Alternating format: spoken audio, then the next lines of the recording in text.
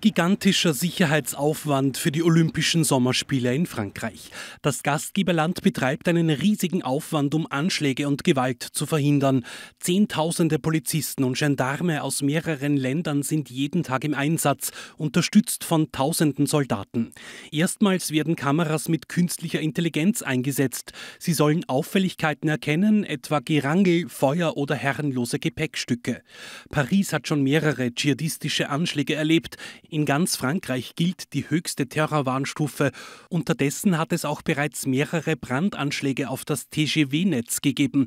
Das Netz der Hochgeschwindigkeitszüge ist voraussichtlich auch über das Wochenende hinaus noch beeinträchtigt. Auch auf anderer Seite laufen die Vorbereitungen auf Hochtouren.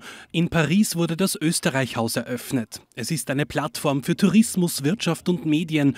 Österreich präsentiert sich von seiner besten Seite und soll in den nächsten Wochen Anlaufstelle Nummer eins für Sportlerinnen und Sportler sein. Das ist für die Athleten auch ein Rückzugsort, wenn es einmal kompliziert wird während des Wettkampfes ist es immer möglich, dass wir daherkommen und ein paar österreichische Vibes aufsaugen, gut essen, gut trinken und uns auch ein bisschen rückziehen können. Ja.